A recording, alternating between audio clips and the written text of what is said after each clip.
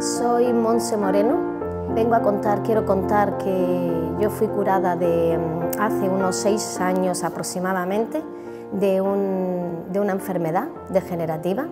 Fui curada, tuve la gracia y el milagro que se efectuó en mí de, de, ser curada instantáneamente, pero instantáneamente en un pueblo de aquí de España, en Santander, se llama San Sebastián de Garabandal.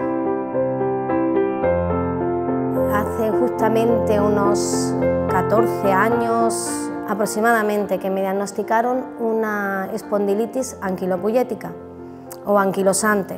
Es una enfermedad degenerativa, reumatológica, pues que es un procedimiento de que va soldando las, las vértebras, eh, anquilosa todo el cuerpo y te limita muchísimo la vida no puedes caminar, no puedes moverte, necesitas ayuda para todo, para, cambiarte, para, incluso para darte hasta la vuelta en, la cama. Es decir, es una enfermedad bastante, bastante preocupante ¿no? para las personas que lo padecen. Eh, en ese momento mm, en el, que estaba mi estado de, salud, está bastante mal, eh, yo conozco ese pueblo. Y vamos precisamente a ese pueblo a relajarnos, pues nos contaron que era un sitio muy tranquilo y dije, bueno, pues vamos a descansar allí. Entonces fui con dos de mis hijas, mi marido. La verdad es que ya había ido varias veces a, este pueblo y a otros de alrededor y me gusta mucho la, zona de Santander. Y, y que es en esa ocasión, en esa ocasión cuando llegamos allí con mis hijas, con dos de mis hijas, pues la enfermedad ya estaba muchísimo más avanzada, estaba ya no podía, apenas apenas podía caminar. Una semana antes de mi curación eh, me desahuciaron. mi doctora de, medicina general, de cabecera, me desahució. Y 11 meses antes de, esta, de mi curación eh, estuve ingresada en el Hospital de Traumatología de, de Granada unos 28 días, por ahí estuve mal, eh, salí de allí con una silla de ruedas, no podía para nada caminar, había tenido una crisis gordísima y bueno, tenía todo el listado de medicinas que se puede uno imaginar, o le llaman la bomba porque tenía de todo, era un cóctel molotov de, medicinas. Me, tomaba pues diariamente no sé cuántas pastillas, ¿no? En ese viaje concretamente que, fuimos mi marido y yo con dos de mis hijas, pues bueno, e, ese viaje concretamente iba fatal, iba muy mal a ese pueblo. Y bueno, yo dije, bueno, por lo menos estos días descansaré un poquito, es un sitio tranquilo y bueno, llegamos al pueblo y entonces mi marido se, tumba, se acuesta porque en la posada donde nos hospedábamos porque no eh, estaba cansado de tanto del viaje, nosotros venimos de Granada y, y bueno, yo me tuve que, que dar como una pequeña vuelta en el pueblo porque no me, es que si me sentaba o me acostaba, pues ya no me podía levantar hasta el otro día, es que no. Entonces, eh, justo ese día, concretamente, me encuentro en, en, el paseillo este pequeño, me encuentro a una de las videntes que estaba en ese momento en el pueblo.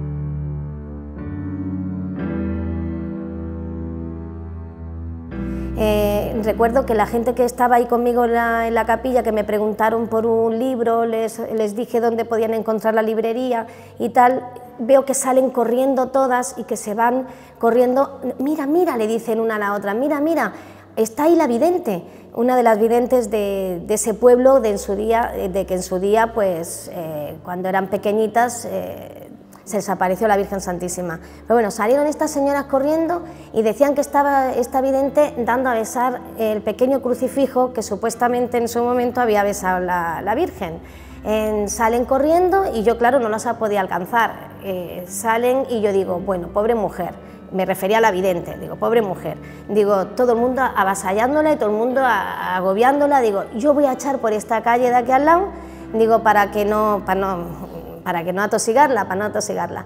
Mm, en ese momento me doy cuenta de que esta señora, la vidente, me mira fijamente a los ojos. Al darme cuenta que me mira fijamente, mm, yo digo, pues me ha pillado, ya no me puedo echar para otro sitio, digo, voy a pasar por delante y le voy a, la voy a saludar. Y cuando ya voy a pasar por delante de ella para decirle mm, buenas tardes, pues me sonríe, no me dijo nada más, me sonríe y me muestra el crucifijo y pues yo, pues, pues como todo el mundo, pues beso el crucifijo. Beso el crucifijo y bueno, esta señora se sonríe de nuevo y se mete para dentro de su casa y yo me voy pues para la posada donde estaba mi marido durmiendo. Eh, bueno, cuando llego pues le digo pues el ratito que había echado allí y demás y cuando, bueno, mm, ya pasa el rato, estaban mis hijas por allí y tal, eh, llega la noche, en ese momento nosotros estábamos en esa posada durmiendo en la segunda planta, me era muy difícil subir a la, segunda planta no, del piso porque la primera estaba, la posada la tenía completa la señora. Y bueno, yo dije pues cuanto menos suba mejor, me voy solamente para dormir. Eh, subo ya por la noche, bueno, me acuerdo que me dolía todo porque empezó a llover, empezó a llover, a tronar, una mala noche, muy mala noche y, claro, yo con la humedad de los sitios, depende en qué sitio, en aquel momento me dolía absolutamente todo. Tenía tal dolor, era desesperante. No dormí en toda la noche. A la mañana siguiente, cuando bajamos a la posada a desayunar, pues claro, tenía que coger todas las pastillas que tomaba y me las tenía que, tomar después del desayuno. Y al, estar desayunando, estoy desayunando mm, y a, continuación me iba a empezar a tomar la, medicación, las pastillas, eran muchas las que tomaba y no podía dejar ni una sola. en ese mismo momento siento una voz que me dice, no vas a tomar una medicación más. Y lo oí perfectamente, lo oí perfectamente. Es así que me quedo mirando a mi hija, así muy impresionada, como, mm, mm, ¿esto lo he oído yo? ¿Esto es verdad? Esto que empecé a aturdirme y no sabía exactamente lo que... pero mm, lo oí perfectamente. Cuando termino de desayunar, me dice mi marido, las pastillas, íbamos a ir a misa, entonces nos levantamos de la mesa y me dice, las pastillas las tenía encima de la mesa. Y le digo, no. Y me dice, venga, vamos que llegamos tarde tenemos que ir a misa y digo, no, no. Entonces mi marido se enfada, se me queda sorprendido mirando como diciendo, bueno, ¿y ahora qué? Empezó a remurgar, empezó a murmurar, y, pero ¿cómo que no? ¿Cómo? Pero vamos a ver, ¿que, ¿cómo que no? Que no, que no, se enfada, coge las pastillas y se las lleva a la habitación. Nos vamos a misa, salimos de misa, recuerdo que, que hacía un día precioso, era 15 de agosto, un día maravilloso, todo lo que había llovido por la noche a la mañana siguiente mm, era nítido, nítido el cielo, azul, mm, un olor mm, a, tierra mojada, a limpio. Es que era una sensación, es un cúmulo de sensaciones muy agradables en ese momento. Amén de que, que estaba mal, pero muy agradable. Cuando salimos de misa me dice mi marido, bueno, ¿y ahora qué hacemos? Le digo, bueno, pues si quieres, poquito a poco, vamos subiendo a los pinos porque mm, digo, bueno, vamos paseando y dice, pero tú vas a poder subir a los pinos, es una pequeña montañita y, bueno, tienes que subir por unas callejas donde hay un montón de piedras y es un poco dificultoso el terreno, pero bueno, y luego está la esplanada de los pinos, que es muy bonito, mm, muy tranquilo, se respira una paz increíble y nosotros poco a poco fuimos subiendo rezando el rosario hacia los pinos hacia el sitio donde la esplanadita está, donde están los pinos, y empecé a sentirme, vi que todo era maravilloso, yo no vi nada, pero que todo era el cielo, el olor, eh, la sensación del exterior maravillosa. Pero de repente empiezo a sentirme mal, pero que muy mal. No es que me dolía nada puntual, sino que era todo eh, un dolor, un malestar generalizado empecé a sentir me muero, no me muero, me caigo, no me caigo. Entonces mi marido se da cuenta de que, me, eh, como si tuviera una crisis, porque para él estaba, te está dando una crisis, me dijo. Entonces ahí donde él me dice, vamos a bajar, vamos al médico, porque dice, pensaba de llevarme o al hospital de Torre la Vega o al hospital de Santander, y me dijo, bajamos por la, por la carretera, una carretera que tiene un acceso detrás, ¿no? Entonces yo ahí me doy cuenta que mi voz no me sale del cuerpo. Y entonces le hago así con la cabeza que por la carretera, ¿no? Entonces me dice él, ¿por dónde quieres que bajemos? Digo, pues... Y entonces él le, señalo por la, por la calleja y entonces es cuando me dice, venga, sujétate porque no, no, vamos a, te llevo al médico, vamos a ver dónde podemos ir. Y me dice, sujétate fuerte. Entonces me sujeta su brazo y vamos poco a poco bajando por la, por la calleja, es cuando en ese momento me suelto de mi marido, me suelto y salgo corriendo, corriendo toda la calleja, todo el monte para abajo, hasta llegar a la, posada, hasta la posada donde nos hospedábamos. Mi marido dice que, que él pensó en ese momento, mm, no puede ser, intentó reaccionar, se quedó en shock, pero cogerme, no me cogerme, no me pillaba, él fue detrás mía no me, no me, no me, no me acababa de, coger y cuando llego a la posada subo corriendo a, la habitación donde estábamos, dice la posadera que me vio entrar, eh, dice que al principio no sabía que era yo, después ya me hizo el referido de que, de cuando me vio entrar dice, pero si es Monse, es Monse. Y entonces yo por lo visto estuve durmiendo como dos horas y media o así de, reloj.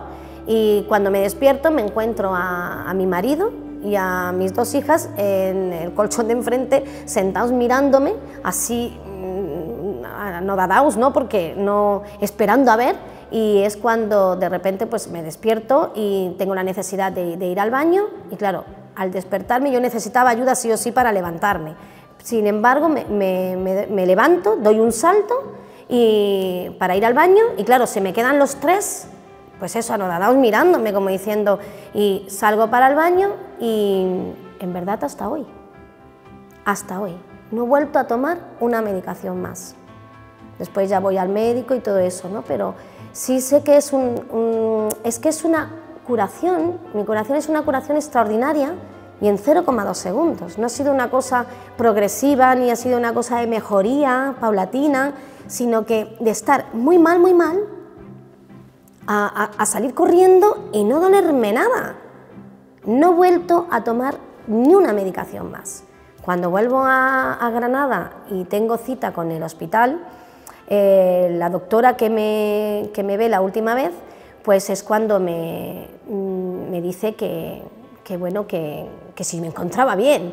Y claro, ella, la pobre estaba ahí un poco, ella mm, confusa mirando al ordenador, mirándome a mí, y, al final me dice, mire usted, Montserrat, eh, yo le voy a decir que esto de usted, esta enfermedad, es materialmente y científicamente imposible que remita. Pero yo es lo que le tengo que poner. Entonces le digo, bueno, entonces, ¿qué estoy? ¿Estoy curada? Y entonces es cuando ella me dice, yo le tengo que poner esto en el informe. Entonces me puso eh, espondilitis anquilosante, sin actividad y en remisión. Y con un bolígrafo fosforescente lo subrayó y hasta hoy. Sí puedo decir que, bueno, que esto es, es una curación en vivo y en directo en, este, en ese pueblo. En este pueblo eh, nuestra Madre Santísima dijo que estaría con nosotros hasta, hasta el final y sé que estuvo allí y que tengo que dar gracias hasta, pues hasta el final de mis días, porque ha sido una curación instantánea. Sé que ha habido muchas curaciones también allí, muchísimas y muchísimas conversiones, muy importante, muy importante. Y que sé que nuestra Madre no nos abandona y sé que está allí.